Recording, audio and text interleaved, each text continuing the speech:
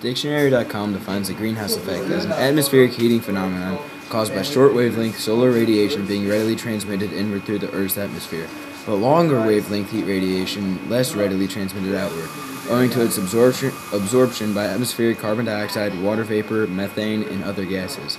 Thus, the rising level of carbon dioxide is viewed with concern. Or, in other words, it is the rise in temperature that the Earth experiences because certain gases in the atmosphere, water vapor, carbon dioxide, nitrous oxide, methane, for example, trap energy from the sun. Without these gases, heat would escape back into space, and Earth's average temperature would be about 60 degrees Fahrenheit colder. Because of how they warm our world, these gases are referred to as greenhouse gases. The greenhouse effect is created by greenhouse gases. The light, UVs, and heat from the sun pass through the atmosphere. While some of the rays are absorbed by the Earth, others are reflected off the Earth's surface and go back into the atmosphere.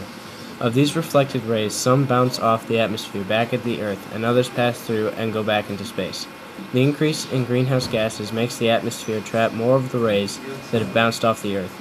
This raises the temperature of the Earth, hence the name global warming.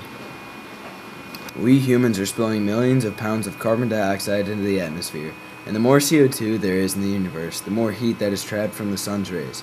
So our atmosphere heats up, our ice caps start to melt, and then there's less ice to reflect the sun's rays. So the melting only accelerates faster, and our e- Earth heats up more and more. So now that the Earth is all heated up, it will affect the growth of crops, animal migration of all species, and it may cause heat waves and flooding. Also, since the water is warmer, we will have worse storms, like Hurricane Katrina. There are a few different solutions that may help to lessen the problem of the greenhouse effect. Turn off lights when you leave a room. If you have a car, don't use it for short journeys. Basically, use anything that uses less energy. New coastlines would have to be drawn on maps. Because water expands, as it is heated. And because oceans absorb more heat than land, sea levels around the world would rise. Cities on the coast would flood. Temperate places that now receive frequent rain and snowfall, like Wisconsin, might become hotter and drier. Inland lakes and rivers would shrink. Forest fires could occur more often. Frequent periods of drought would make it hard to raise crops for, for food. There would be less water available for drinking, showers, irrigation, even swimming pools. Plants and animals unable to take the heat may go extinct and be replaced by heat tolerant species.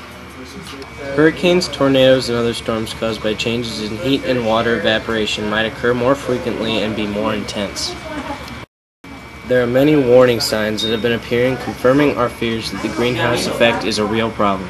Scientist data has confirmed many things. There are heat waves and periods of unusually warm weather.